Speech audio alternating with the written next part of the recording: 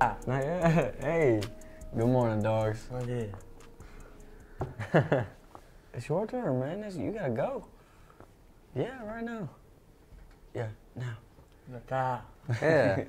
All right. Well, we'll be talking about Pi Day and St. Mary's and more after the pledge. I pledge allegiance to the flag of the United States of America and to the republic for which it stands, one nation, under God, indivisible, with liberty and justice for all. Yo, dogs. In case you guys forgot, the public is invited to St. Mary's Catholic Church for the annual fish fry dine in the Muller Hall or gay carry out.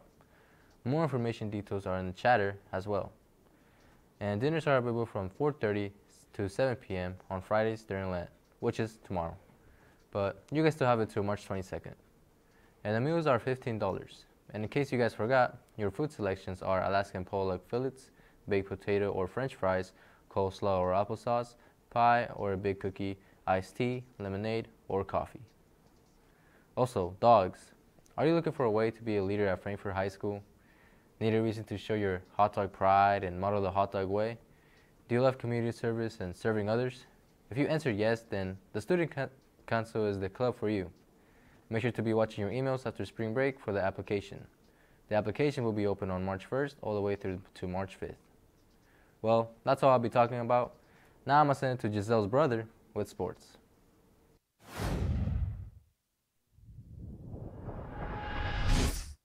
Happy Pi Day and welcome back to sports. Today is the day. The Winter Sports Banquet is today at 7 and please come to this event to receive the awards you all worked so hard for. All the sports will be in different locations starting off in the auditorium then go, and going to the rooms for each sport. Starting off with the boys basketball team, they will be in the auditorium, girls basketball in room 303, cheerleading in room 305, swimming will be in the library, and last but not least, wrestling is in room 103. There will be refreshments for the athletes and parents in the cafeteria, and a big congrats to Kai Kirby for receiving his first team All Conference award at Sagamore First Team All Conference Banquet. That's all for sports. Athletes, please enjoy your time at the banquet, and now let's send it to Hyena. Thanks, Ant-Man, and good morning, Hot Dogs. Today, this morning, it felt very chilly. Also, it mostly likely rain during the day. And we also have some winds 10 to 15 miles per hour. In the highs are going to be 68 degrees and a low 47 degrees. That's so for weather and also to Birch. Hey, hey. Thanks for that wonderful sports and weather report. Now let's get back into the action. In case you all forgot to check the calendar, today is National Pi Day. If you don't know what Pi Day celebrates, it's the mathematical symbol pi, which was introduced in 1706.